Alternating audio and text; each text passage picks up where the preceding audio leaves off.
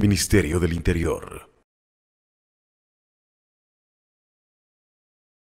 Primero, eh, por la presencia de los líderes barriales que hemos querido, ante la preocupación que tenían sobre la salida de los eh, oficiales cursantes y que el tiempo de trabajo en, en el territorio era muy corto, realmente un año es muy corto para solucionar diferentes problemas de seguridad y de violencia que existen en los territorios, pero por eso hemos querido hacer este relevo entre los oficiales cruzantes salientes y los oficiales cruzantes entrantes para que no exista eh, un quebrantamiento de la continuidad o una suspensión de la continuidad de todos los procesos que estamos eh, aplicando acá en el Distrito Metropolitano de Quito. La Policía Nacional, en las distintas unidades de policía comunitaria desplegadas en el territorio, tenemos un portafolio de servicios que es fundamental. Tenemos los botones de seguridad, tenemos eh, los barrios seguros, las escuelas seguras, varios programas que la OPC se convierte en un centro de servicios policiales hacia la comunidad.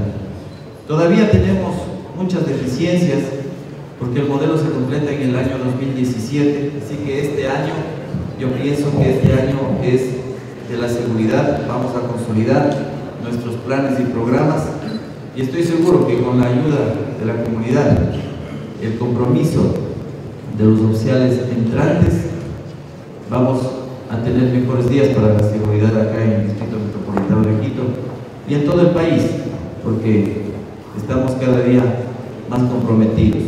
Hay que trabajar en la comunidad, hay que reunirse en los barrios. El empoderamiento que ustedes tengan de su territorio que se les va a asignar. Cada circuito, cada subcircuito será de su responsabilidad. Será el lugar donde usted va a vivir el próximo año. A los oficiales constantes salientes, gracias por su trabajo, por su dedicación.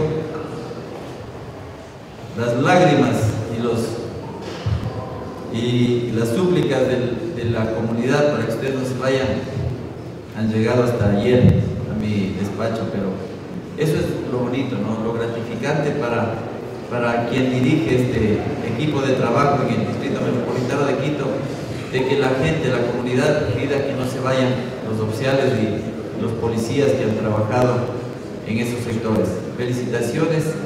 Eh, la satisfacción que ustedes tienen del deber cumplido es la recompensa y el gracias que le da la ciudadanía la recompensa más grande que puede tener un policía.